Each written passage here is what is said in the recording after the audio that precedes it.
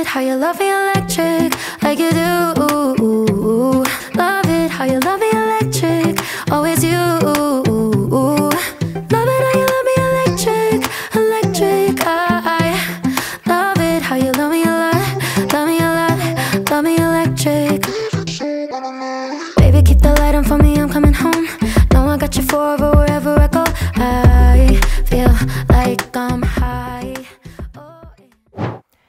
세상의 모든 향기 리뷰하는 조향사 김혜연입니다. 드디어 드디어 센트위키의 메종 프란시스 커정이 등장했습니다. 투둥! 커뮤니티 투표에서 득표율 66%로 압도적인 1위를 한 메종 프란시스 커정의 아쿠아 유니버셜이 오늘의 리뷰 향수입니다. 메종 프란시스 커정의 아쿠아 유니버셜은 2009년에 출시된 fresh note의 남녀 공용 향수입니다. 프란시스 커정은 지난 20년 동안 가장 많이 팔린 남성 향수 중 하나인 장 폴 고티에의 르말을 조향한 천재 조향사입니다. 르말을 조향한 커정의 나이는 겨우 24살이었다고 해요. 버버리, 크리스찬 디올, 엘리 사브, 나르시소 로드리게즈 등의 다양한 브랜드와 협업하며 메종 프란시스 커정의 향수들 외에도 많은 향수들을 만들어내고 있습니다. 누구나 다 아는 엘리자베스 아덴의 Green Tea, 나르시소 로드리게즈의 포허, 포힘도 커정의 작품들입니다. 천재라고 불릴만 하죠.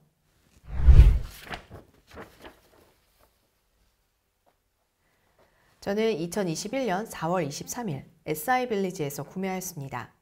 아쿠아 유니버셜은 eau de toilette으로 35mm, 70mm, 200mm 세 종류가 있으며 저는 70mm로 구매하였습니다. 가격은 25만 3천 원이고 저는 할인을 받아 20만 7천 원에 구매하였습니다. 자, 얼른 뜯어볼까요? ASMR 시작합니다.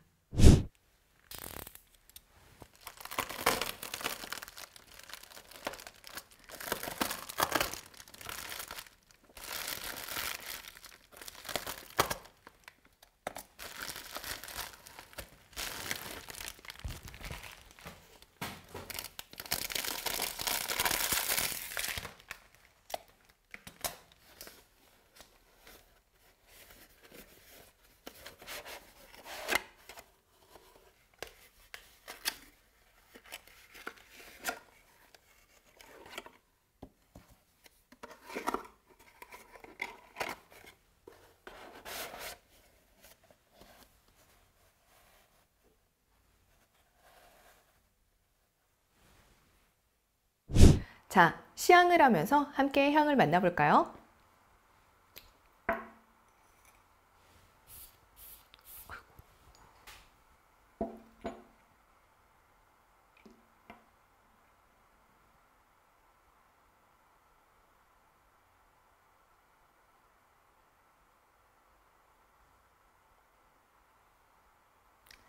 정말 맑고 깨끗한 느낌의 시작이네요. 입안에 침이 조금씩 고이는 느낌으로 느껴지는 레몬과 베르가못 그리고 살짝 달콤한 오렌지의 향기가 보여요. 그 중에서도 레몬의 향기가 가장 크게 느껴지네요. 아쿠아 유니버셜에 사용된 레몬과 베르가못은 이탈리아 남부 지역인 칼라브리아와 시칠리아 산이라고 해요. 지중해성 기후를 가진 곳이란 날씨가 정말 좋은 곳이라고 하더라고요. 기후가 좋기 때문에 그곳에서 자란 식물들은 좋은 향과 좋은 맛을 가지게 되고 그 식물로 만든 향료는 정말 좋은 향을 가지게 되죠. 이렇게 보니까 향수 제작의 시작부터 대자연이 함께하는 느낌이네요. 탑에서는 정말 깔끔하고 깨끗한 느낌의 맑은 시트러스 향기가 느껴지는데 정말 신기한 것은 하나도 날카롭지 않다는 점이에요. 제가 보통 시트러스, 특히 레몬의 향기는 날카롭고 뾰족뾰족한 느낌이 있다고 말씀드리잖아요. 그런데 아쿠아 유니버셜의 시작은 정말 부드럽고 실크 같은 느낌이에요. 물론 top note에서 느껴지는 향기가 온전히 citrus만 존재하는 건 아니거든요. 깨끗하고 맑은 느낌이면서도 어딘가 촉촉하고 포근한 향기가 함께 있어요. 그래서 citrus의 향기가 쨍하고 날카롭지 않게 느껴지는 것 같기도 하네요.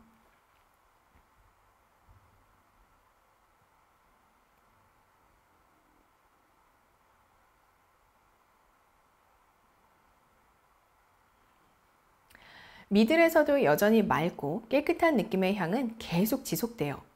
하지만 조금 전보다는 citrus의 상콤 달콤함이 줄어들었어요.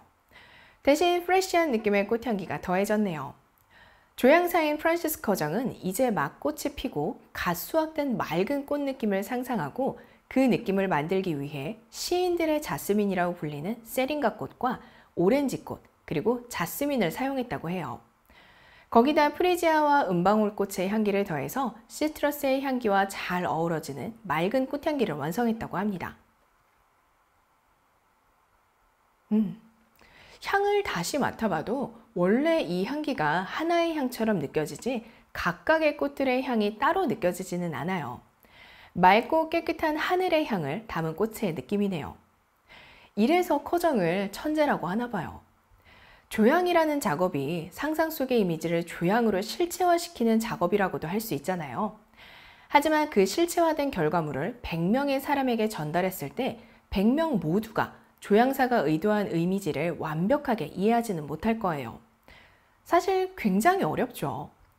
그런데 커정의 향수를 맡아보면 커정이 의도한 이미지와 향기가 누구에게나 완벽하게 이해될 것 같은 느낌이에요.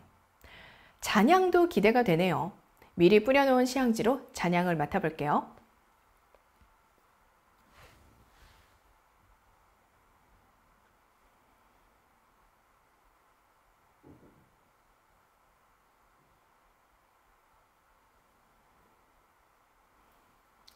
잔향에서는 조금 포실포실한 머스크의 향기와 아주 살짝의 나무 향기가 조금 느껴져요. 보통 잔향의 머스크의 향기를 맡을 수 있는 향수는 아주 많죠. 그런데 그 머스크도 종류가 굉장히 다양하거든요. 아시다시피 천연 머스크 향료는 여러 가지 문제로 인해 사용이 금지되어 있습니다. 대신 합성 향료가 발전하면서 다양한 느낌을 가진 합성 머스크가 개발되었죠. 그냥 순수하게 머스크의 느낌을 가진 머스크, 과일의 느낌을 가진 머스크, 나무의 느낌을 가진 머스크, animalic함을 더 강하게 가진 머스크 등 머스크의 범위 안에 꽤 다양한 머스크의 향기가 존재하는데 아쿠아 유니버셜에 쓰인 머스크는 굉장히 맑고 깨끗한 느낌의 머스크예요. 생소하시죠? 아니, 머스크는 포실포실 살내음 같고 약간 powdery하기도 하고 animalic한 향취도 갖고 있는 엄청 무거운 향기인데 맑고 깨끗한 게 가능한가? 이렇게 생각하실 수도 있어요. 그러게요. 그런데 아쿠아 유니버셜에서 표현되는 머스크는 그게 가능하네요. 앞서 맡았던 시트러스의 깨끗하고 청량한 느낌과 갓 수확한 여러 가지 꽃의 향기가 바람에 실려오는 느낌도 여전히 지속되면서 머스크의 안정적인 포근한 향기가 대자연의 경건함을 떠올리게 만들어요. 향수에서 느껴지는 대자연의 경건함이라니 실로 압도적인 향수네요. 생각난 이미지는 따사로운 햇살이 내려쬐고 신선한 바람이 불어오는 꽃밭을 조금씩 개화하는 꽃봉오리를 만지면서 걷고 있는 이미지예요. 커정이 아쿠아 유니버셜을 만들면서 연상한 이미지랑 꽤 비슷하죠? 향에서 전달되는 이미지가 너무 명확해서 그런지 저는 이 향을 맡으면서 커정이 의도한 꽃의 향기와 자연의 모습이 연상이 되더라고요. 생각난 컬러는 baby blue입니다. 사실 제가 생각한 색깔은 말 그대로 하늘의 색이었어요. 아주 쾌청한 날씨의 하늘 색깔이요. 그런데 그런 색깔 찾기가 참 어렵더라고요.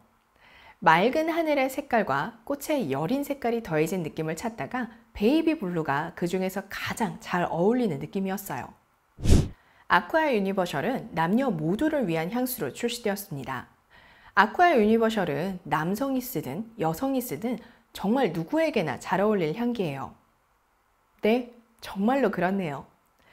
누가 사용하든 사용자가 원하는 느낌으로 표현될 것 같아요. 여성스러운 느낌을 원한다면 여성스러운 느낌으로, 청량한 느낌을 원한다면 청량한 느낌으로, 이런 식으로 말이에요. 잘 어울릴 것 같은 연령대 역시 마찬가지예요. 어느 연령대가 사용하더라도 잘 어울릴 거예요. 어색함이나 위화감이 전혀 없이 나이와도 상관없이 사용자에게 맞춰서 표현될 향기 같아요. 생각난 outfit은 스트라이프 줄무늬예요. 하얀색 바탕에 들어간 색깔 줄무늬가 아쿠아 유니버셜의 향기와도 참 잘 어울릴 것 같더라고요. 처음엔 그냥 하얀색의 옷을 생각했는데 생각해보니까 너무 향에 묻힐 것 같은 느낌인 거 있죠? 그래서 다시 생각해보니까 하얀색 바탕에 파란색이든 빨간색이든 초록색이든 컬러풀한 스트라이프 무늬가 들어가면 하얀색 바탕은 향과도 잘 어울리고 컬러풀한 무늬는 생동감을 더해줄 것 같은 느낌이었어요. 그리고 잘 어울릴 것 같은 메이크업은 내추럴 메이크업입니다. 정말 한 듯 안 한 듯한 느낌의 메이크업이요. 어떤 메이크업을 해야 아쿠아 유니버셜의 향기와 잘 어울릴까 한참을 생각해 봤는데 저는 모든 것을 덜어낸 내추럴 메이크업이 이 향기와 가장 잘 어울리는 것 같았어요.